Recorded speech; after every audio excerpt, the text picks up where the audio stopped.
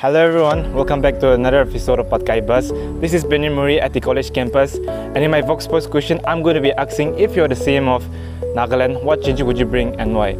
So let's get started with the episode. If I were the Chief Minister of Nagaland, I would launch a program empowering youth, so, uh, young social entrepreneurs to address regional challenges through innovative solutions.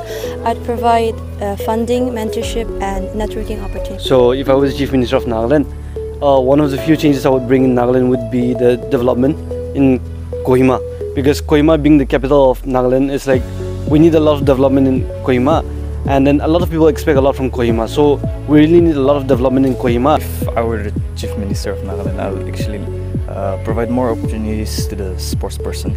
Like uh, there are many great athletics coming up these days. So yeah. Well, if I were the chief minister of Nagaland, uh, mostly focus on positive changes uh, and improve healthcare services, especially for the elderly, because I believe that no one should suffer due to insufficient medicine and facilities.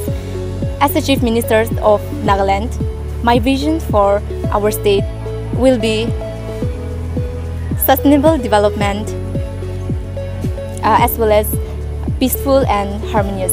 If you're the CM of Nagaland, what changes would you bring and why? If I was the CM of Nagaland, I think I will make good roads since since roads are very important for transportation and I'll uh, improve the health facilities.